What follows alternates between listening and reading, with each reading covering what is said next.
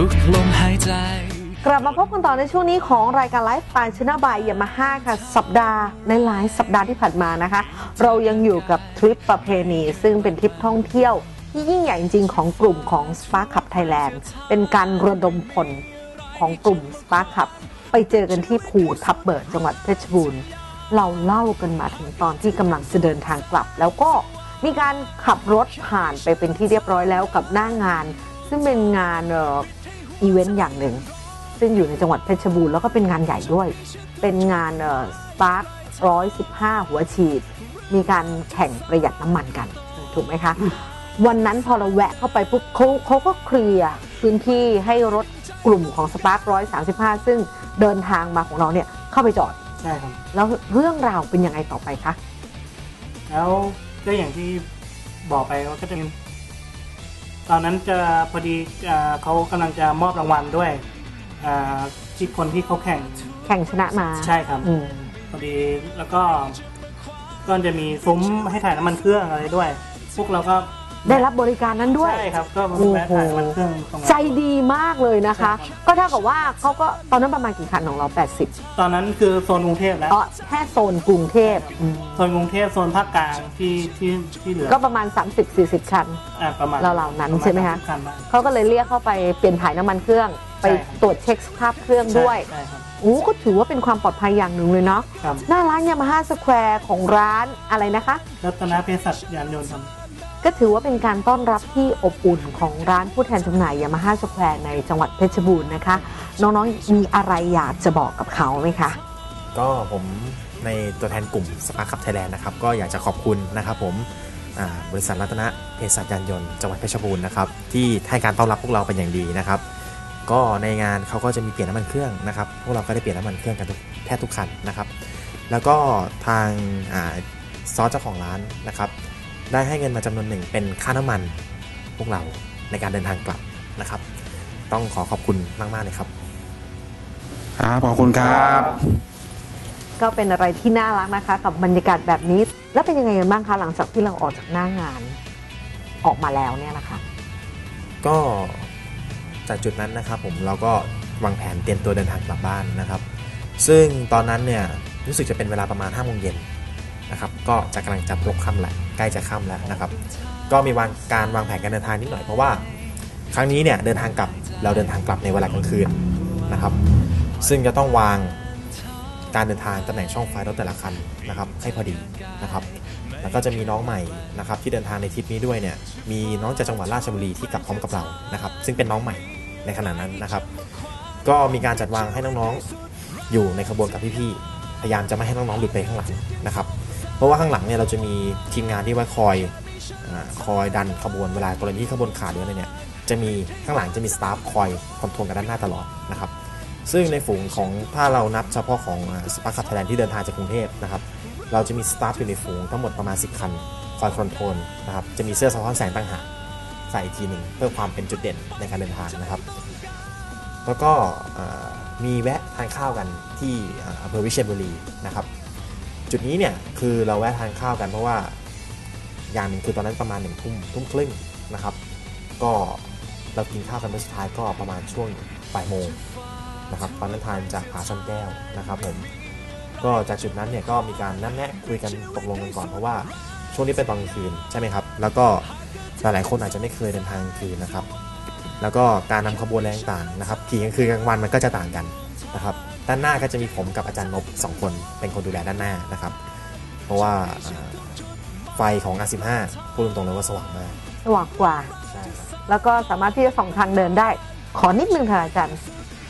มีเทคนิคยังไงบ้างในการนำขบวน เทคนิคการก็คืนก็ควบคุมความเร็วให้เหมาะสม คือเราไม่เร่งมาก เพราะว่ากำลังของ R15 เนี่ยมันจะจะเร็วเร็วกว่าอะอ่าสปาร์ค135 อยู่แล้วฮะ แล้วก็ควบคุมความเร็วให้อยู่ ประมาณ100 110แล้วแต่ช่วงของถนนนะครับ เพื่อจะไม่ห่างกับน้องๆด้านหลังครับแล้วแล้วอีกอย่างมันก็คือมันดึกแล้วเราต้องทำความเร็วนิดนึง เพราะว่ากว่าจะไปถึงสระบุรีก็เกือบเที่ยงคืนแล้วครับ ค่อนข้างจะเหนื่อยล้ากันแล้วฮะก็เลยเพราะฉะนั้นช้าช้าไปก็อาจจะเกิดการเพลียเมื่อยล้ากันได้ฮะๆ ก็ถือว่าเป็นประโยชน์นะคะ เพราะว่าไฟหน้าของ R15 สว่างกว่าเพื่อนเลย ก็เท่ากับว่าเราตีขบวนไปสองแถว ใช่ครับ ถูกไหมคะ แล้วก็เลี้ยงเออเลนเดียวเลี้ยงเลนเดียว จะแล้วก็ เลี้ยงอยู่เลนเดียวพยายามจะไม่ให้เกินไปอีกเลนหนึ่งครับ เพราะว่าเราเดินทางกลางคืนเนี่ยเราต้องคำนึงเสมอว่า ไม่ว่าจะกลางวันหรือกลางคืน เราก็จะมีรถยนต์เพื่อนร่วมทางอื่นที่เขาใช้ถนนเดียวกับเรา คือต้องสำคัญที่สุดคือเราต้องไม่ไปสร้างความเดือดร้อนให้เขานะครับต้องไม่ขับขี่อ่ากีดขวางการจราจรของผู้อื่นเขาเพราะว่ารถยนต์บางทีเขาอาจจะเดินทางเร็วกว่าเราหรืออาจจะมีรถคันอื่นที่เขาวิ่งตามหลังมาเนี่ยเขาวิ่งต้องการวิ่งเร็วกว่าเรา เราก็ต้องให้เขาขึ้นแซงไปนะครับ เพราะว่าโดยเฉพาะเวลากลางคืนค่อนข้างอันตรายนะครับ ตอนนี้อยากจะให้ทุกคนนะคะบอกถึงความรู้สึกกับทริปนี้กันนะคะ ไล่มาทีละคนเลยค่ะ ก็ทริปทริปแห่งปีปีนี้ก็ประทับใจมากครับ ได้เจออะพี่น้องทั่วประเทศนะครับ ก็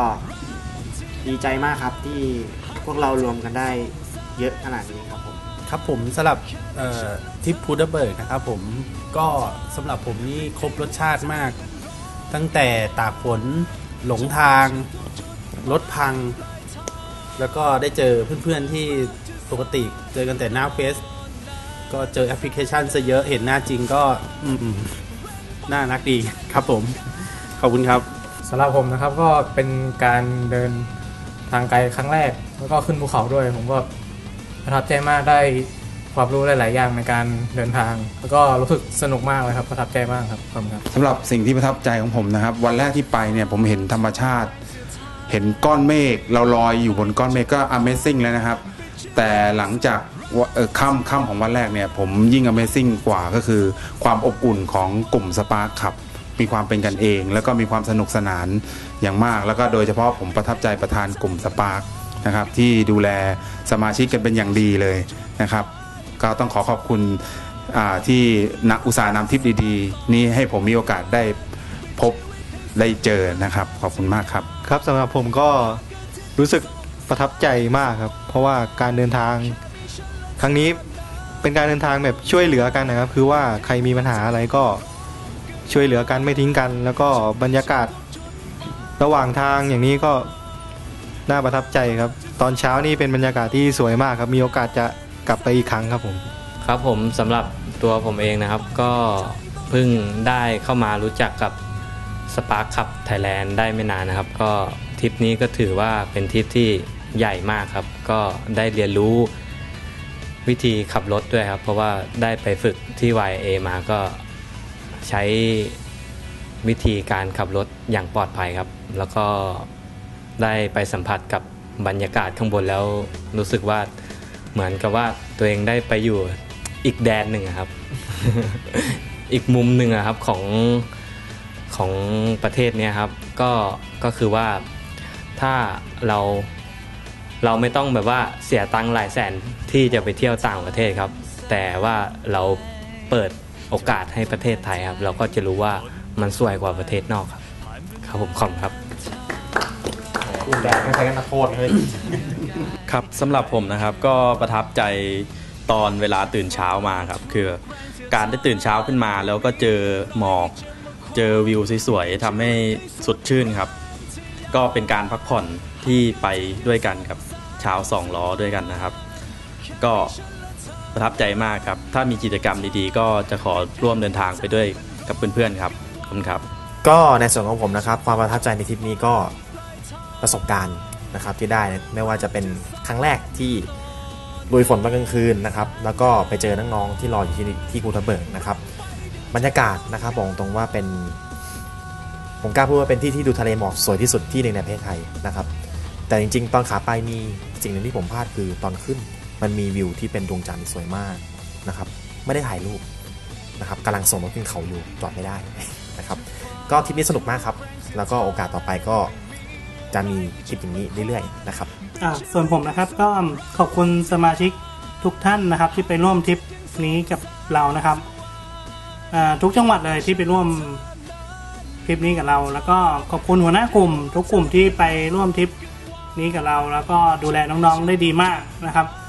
อุบัติเหตุแทบไม่มีเลยนะครับ แล้วก็ขอบคุณยามาฮ่าครับที่สนับสนุนทริปนี้เต็มที่นะครับ แล้วก็ขอบคุณที่พักนะครับเขาก็ดูแลเราดีมากเหมือนกันครับ ก็ถือว่าเป็นทริปคุณภาพ ภายใต้ทริปประเพณี ซึ่ง Spark Club Thailand มีทริปดีๆ แบบนี้ทุกปี และเป็นทริปที่ระดมพลค่อนข้างใหญ่ทีเดียว การขับขี่รถไปในเรื่องของเป็นกลุ่มๆแบบนี้ แล้วก็ได้เจอเพื่อนอต่างแดนใช้คำว่าต่างแดน เพราะว่าเขาเป็นกลุ่ม Spark Club ที่กระจายอยู่ทั่วประเทศไทยนั่นเองนะคะ ก็ได้เจอหน้ากันตามหน้าเพจของ Facebook แล้ววันนี้ได้เจอหน้ากันจริง ๆทำให้ มิตรภาพเกิดขึ้นแน่นอนแล้วก็แน่นแฟนมากขึ้นกว่าเดิมค่ะ สัปดาห์หน้านะคะเป็นสัปดาห์สุดท้ายของกลุ่ม Spark Club Thailand คราวนี้เรามาเจาะลึกเรื่องของสำคัญใช่ละค่ะบนเส้นทางมิตรภาพของ Spark Club Thailand นั้น เป็นอย่างไรเขาครบรอบ 8 ปีแล้วค่ะ 8 ปีเต็มแห่งคุณภาพของกลุ่ม Spark Club Thailand นั้นเป็นอย่างไร สัปดาห์หน้าคุณผู้ชมได้ฟังอย่างแน่นอนค่ะ ตอนนี้ต้องพักชมสิ่งที่น่าสนใจสักครู่แล้วกลับมาพบกับช่วงต่อไปของรายการค่ะไมีเธอข้างกายไม่เคยหวาดวันจะฝ่าทุกแรงเสียทานไม่มีอะไรจะมาขวาง